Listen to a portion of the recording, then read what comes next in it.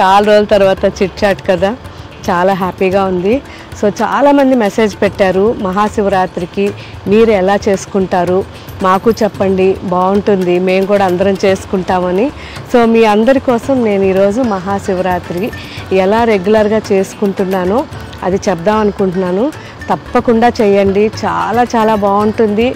మీరైతే మాత్రం నిజంగా ఒక అద్భుతం చూస్తారు. ఆ తర్వాత మీరే నాకు మెసేజ్ పెడతారు. ఓకే ఫ్రెండ్స్ అందరూ బాగుండాలనుకుంటాను కాబట్టి మ్యాక్సిమం మీకు అందరికీ నేను చేసే ప్రతి ఒక్క మంచి కూడా చెప్తూ ఉంటాను. సో అలాగే చెప్పుకుందాం ఈరోజు. అండ్ రేపు ఉమెన్స్ డే ఉంది అండ్ మహాశివరాత్రి ఉంది. రెండు ఉన్నాయి. సో ఉమెన్స్ డే స్పెషల్గా రేపు వన్ థర్టీ ఎపిసోడ్ మనకి లైవ్ ఉంటుంది. అందరం కూడా లైవ్లో కాసేపు మాట్లాడుకుందాం. అండ్ ఈరోజు మాత్రం మహాశివరాత్రి రేపు ఎలా చేసుకుంటే బాగుంటుంది నాకు తెలిసిన మంచి విషయాలన్నీ మీకు చెప్తాను. మీరు కూడా ట్రై చేయండి. సో రేపు మార్నింగ్ ఫస్ట్. అంటే దీనికంటే ముందు మీకు ఇంకొకటి కూడా చెప్పాలి. ఒట్టి మనకి మహాశివరాత్రి అని కాదండి. ప్రతి సోమవారం ఎలా చేస్తే బాగుంటుందో నేను మీకు చెప్తాను. ఇప్పుడే చెప్తాను. అది కూడా సో దాన్ని ఖచ్చితంగా ఫాలో అవ్వండి. ఎక్సలెంట్ రిజల్ట్ ఉంటుంది. సో చాలా చిన్నగా తీసేయకుండా మీరు చేయండి. చాలా బాగుంటుంది. సో రేపు మహాశివరాత్రి. ఫస్ట్ మనమైతే మార్నింగ్ లేచి చక్కగా స్వామికి అన్నీ కూడా ఎక్కువగా మనం చేసేది ఏంటి అభిషేకాలు. కాబట్టి మ్యాక్సిమం పాలు కానివ్వండి తర్వాత గంగాజలంతో ఇలా చాలామంది పంచామృతాలతో అన్నిటితో కూడా అభిషేకం చేసుకుంటారు. అలా చక్కగా మీకు వీలైనంత వరకు ఏదైనా ఒక గుడికి వెళ్ళి పాలు తీసుకుని వెళ్ళి ఆ పాలతో చక్కగా అభిషేకం చేసి స్వామికి మంచిగా ప్రార్థన చేసుకొని వచ్చేసేయండి. సో చాలా సింపుల్గా చెప్పాను అనుకోవద్దు. నేను చేసేది మాత్రమే మీకు చెప్తున్నాను. నేను ఎప్పుడు కూడా అంతకుముందు అయితే కీసరగుట్ట వెళ్ళేదాన్ని. సో అర్లీ మార్నింగ్ వెళ్ళిపోయి చక్కగా అప్పుడైతే మనం ఓన్గా చేసుకొని వచ్చేది ఇప్పుడైతే చాలా రష్ ఉంది. ఇప్పుడు అక్కడ కుదరట్లేదు కానీ ఇప్పుడు మనకు దగ్గరలో ఉండే గుడి ఇప్పుడు మేమైతే జస్ట్ ఇక్కడే మా ఇంటి దగ్గరే ఈ టెంపుల్ ఇక్కడ శివాలయం ఉంది అక్కడ చేసుకుంటాం. సో అలా మీరు కూడా మార్నింగ్ లేసి వెళ్ళి చక్కగా మన అభిషేకం చేసుకోండి స్వామిని ప్రార్థన చేసుకోండి వచ్చేసేయండి హ్యాపీగా. వీలైనంత వరకు ఉపవాసం ఉండేవాళ్ళు ఉపవాసం ఉండండి. ఈవినింగ్ కూడా మళ్ళీ దీపం పెట్టుకోండి మళ్ళీ గుడికి వెళ్ళి దీపం పెట్టండి. చాలా బాగుంటుంది. సో చాలా సింపుల్గా చెప్పాను. కానీ ఈ మహాశివరాత్రి ఒక్కరోజు గురించి చెప్పేది కాదు. ఇయర్ మొత్తం కూడా మీరు ఎలా చేస్తే బాగుంటుందో ఇప్పుడు చెప్తాను.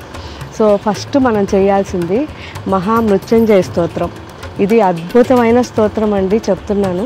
ఎవ్వరూ మిస్ కాకుండా ఈ స్తోత్రాన్ని ప్రతిరోజు కూడా మైండ్లో పెట్టేసుకొని ఎప్పుడు మనసులో పఠిస్తూ ఉండండి. ఒక అద్భుతం జరుగుతుంది. ఇప్పుడే కాదు మీరు కొద్ది రోజులు వెయిట్ చేస్తారంటే అసలు మీకే తెలుస్తుంది రిజల్ట్ అనేది ఎలా ఉంటుంది అనేది. చాలా చాలా బాగుంటుంది. ఇది ప్రతిరోజు చేయండి. మహామృత్యుంజయ స్తోత్రం. మీరు పడుకున్నప్పుడు చేయొచ్చు నిద్రపోయేటప్పుడు కూడా చేసుకోవచ్చు. ఈవెన్ ఏ వర్క్లో ఉన్నా వదలబాకండి. అట్లీస్ట్ రోజుకి ఒక టెన్ లెవెన్ టైమ్స్ అన్నా చేయండి మనసులో. చాలా బాగుంటుంది ఆరోగ్యం కానీ ఇంట్లో కానీ అంతా కూడా. అండ్ మండే రోజు స్పెషల్గా నేను చెప్పే కొన్ని విషయాలు. అంటే వైట్ అనేది ఎంత ముఖ్యం మన శివయ్యకి అనేది మీకు చెప్తున్నాను. మండే రోజు వైట్ ఏదైనా వైట్లోనే శారీస్ కానివ్వండి డ్రెస్సెస్ కానివ్వండి వేసుకోవడానికి ట్రై చేయండి. సో మండే అంటే మనకి సోమవారం మనకి అటు శివయ్యకి ముఖ్యం ఇటు మనకి మండే రోజు అధిపతి మనకి చంద్రుడు అవుతారు. సో రెండు విధాలుగా మనకి శివయ్యకి పైన చంద్రుడిని పెట్టుకుని ఉంటారు కాబట్టి ఆయనకి వైట్ అంటే ఎంత ఇష్టమో చాలా ఉన్నాయి ఎగ్జాంపుల్స్. మనకి విభూది వైట్లోనే ఉంటుంది. ఆయన ఉండే మంచు పర్వతాలు వైట్లోనే ఉంటాయి. సో సోమవారం చంద్రుడు చంద్రుడు వైట్లోనే ఉంటాడు. ఇలా ప్రతి ఒక్కటి ఆయనకి వైట్ అనేది చాలా చాలా ఇష్టం కాబట్టి సో మనం కూడా ఆ వైట్ వేసుకొని మహామృత్యుంజయ స్తోత్రం చేసుకుంటూ హ్యాపీగా అంటే మండే రోజు మాత్రం ఇలా ఫాలో అవ్వండి. చాలా చాలా బాగా జరుగుతుంది. మనకి ప్రతి ఒక్కటి కూడా బాగా అవుతుంది. చాలా దోషాలు మనకి ఏమేమో ఉంటాయి. అవి మనం తీసుకుని వస్తాము. కర్మ ఫలితాలు అనుభవించాల్సిందే. కానీ అనుభవించేటప్పుడు మరీ అంత సివియర్గా అనుభవించకుండా అవి తగ్గిపోయేదానికి ఎక్కువ శాతం ఛాన్స్ ఉంటుంది. ఇది అనుభవపూర్వకంగా నేను చెప్పే విషయం. కాబట్టి మామూలుగా ఏదో చెప్పామనుకోకుండా మీరు కూడా ఒక వన్ ఇయర్ ఇలా చేసి చూస్తే మీకు తెలుస్తుంది ఎంత మార్పు మనలో వస్తుంది అనేది సో చాలా మంచి జరుగుతుందండి. ఈ మండే రోజు మనం ఇలా చేసినందువల్ల మీరు అందరూ ట్రై చేయండి. సో మహాశివరాత్రి రోజు మాత్రం ఎక్కువగా ఆయనకి ఇష్టమైన మల్లెపూలు నందివర్ధనాలు తుమ్మి పువ్వులు ఇవన్నీ వైటే ఉంటాయి. సో మండే రోజు కూడా మీరు ఇలా వైట్ అన్ని ఫ్లవర్స్తో కూడా ఆయనకి అభిషేకం చేసుకోవచ్చు అర్చన చేసుకోవచ్చు. అండ్ అభిషేకంలో పాలు ఇవన్నీ కూడా వైటే. చూసారా? అన్నీ వైటే ఉంటాయి. సో ఒక్కొక్కటి మనం తీస్తూ ఉంటే వన్ అవర్ చెప్పుకోవచ్చు అనమాట మన స్వామి గురించి. జిల్లేడు పూలు ఆయనకి ఎంతో ఇష్టం. సో జిల్లేడు పువ్వు వైట్లో ఉంటుంది. మన ఎవ్వరికి ఇష్టం ఉండని పువ్వు అనమాట కానీ ఆయనకి చాలా ఇష్టం.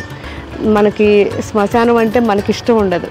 కానీ ఆయనకి శ్మశానం ఇష్టం. చూసారా ఎంత ఇదో. ఇవన్నీ ఒక్కొక్కటి వింటుంటే ఆయనవి చదివేటప్పుడు అద్భుతంగా ఉంటాయి. వీలైనంత వరకు మనం అన్నీ కూడా మల్లెపూలు నందివర్ధనాలు తుమ్మి పూలు ఇలాంటివి మనం స్వామికి పెడితే ఆయన చాలా ఇష్టపడతాడు. సో వీలైనంత వరకు రేపు మహాశివరాత్రి కాబట్టి మల్లెపూలతో మంచిగా అర్చన చేసుకుందాం పాలతో అభిషేకం చేసుకుందాం చక్కగా ఆయన్ని ధ్యానం చేసుకుందాం. వీలైనంత వరకు ఒక టెన్ మినిట్స్ అయినా కానీ ధ్యానం చేయండి చాలా బాగుంటుంది. ధ్యానంలో మహామృత్యుంజయ స్తోత్రం చేయండి ఇంకా అద్భుతంగా ఉంటుంది. సో ప్రతి మండే నేను ఎలా చెప్పానో అలా ట్రై చేయండి. చాలా బాగుంటుంది. సో మీకు అంటే దాదాపు ఒక ఫోర్టీన్ ఫిఫ్టీన్ మెసేజెస్ పెట్టారు. మహాశివరాత్రి గురించి చెప్పండి అని. వాళ్ళందరికీ చెప్తున్నాను మీకు ఏ సమస్యలు ఉన్నా ఏది ఉన్నా ఆటోమేటిక్గా తొలగిపోతాయి. మ్యాక్సిమం హండ్రెడ్ పర్సెంట్ ఎఫెక్ట్ ఇచ్చే బాధలన్నీ కూడా ఫిఫ్టీ పర్సెంట్కి వెళ్ళిపోతాయి. సో మన కర్మ ఫలితాలు కొన్ని అనుభవిస్తూ ఉంటాం. అవి వాటికి తగ్గించి ఆయన ఆటోమేటిక్గా మనల్ని కాపాడుతాడు. సో ప్రతి ఒక్కరు కూడా ఎక్కువగా శివనామస్మరణ చేయండి. చాలా బాగుంటుంది. థ్యాంక్ యూ అండ్ రేపు మధ్యాహ్నం వన్ థర్టీ లైవ్లో కలుద్దాం. బాయ్